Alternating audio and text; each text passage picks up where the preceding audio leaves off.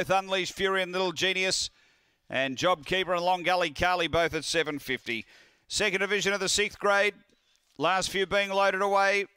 We're just about ready. Light green, set to race. We're right. Race seven. Set it, Gawler.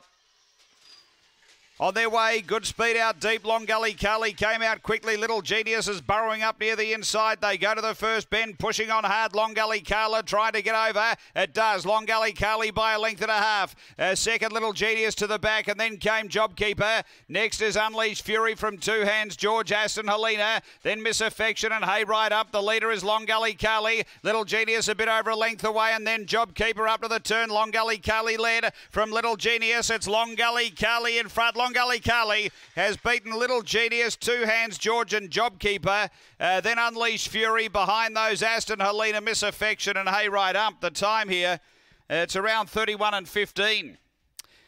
Number eight, Long Gully Carly has uh, been too good for Paula Hernan. She had some really nice acceleration earlier. That's her first box eight run. And was able to zip over from the wide draw, find the lead, and too good. Numbers are 8, 4, 6, and 7. 8, 4, 6, and 7. Uh,